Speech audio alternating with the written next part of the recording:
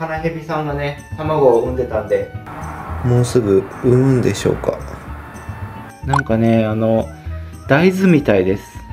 大豆。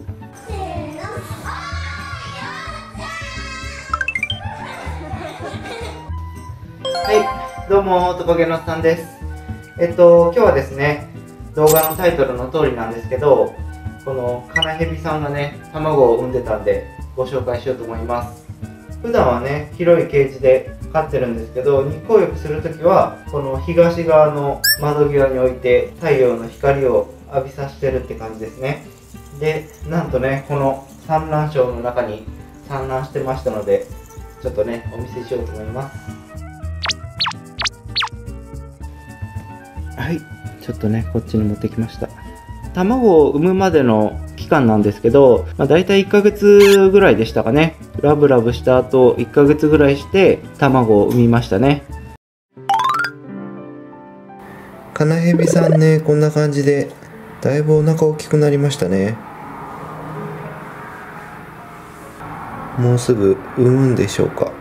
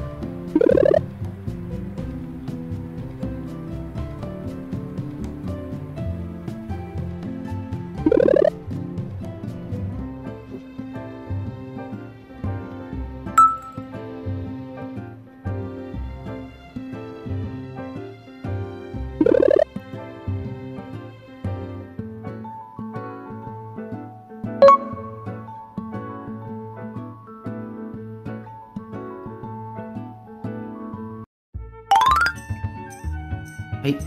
ということでね、こんな感じで、脱皮と同時ぐらいに卵を産んだみたいで、今ね、すごい綺麗な状態なんですよね。なんかね、緑色してます。卵をね、じゃあお見せしようと思います。ほら。3つ産んでますね。ちょっとね、掘った跡があるんですよね。こっち側に向けてね、産んだんじゃないかなと思います。はい。なんかね、あの、大豆みたいです。大豆。すごいそっくりです。はい。で孵化するまでの卵の管理なんですけどおっさんはちょっと今回はね冷温庫の方で管理させていただこうかなと思ってます。まあ、管理の仕方は人それぞれだと思うんで、まあ、参考として見ていただければなと思います。はい。この中に入れたいと思います。ちょっとね、水入れて。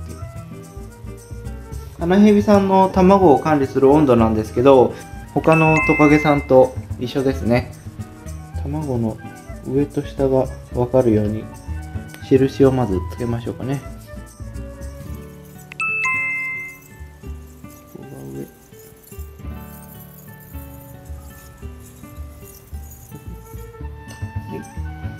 めっちゃ可愛いです。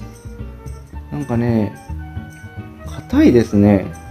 鶏の卵みたいに硬いんですけど。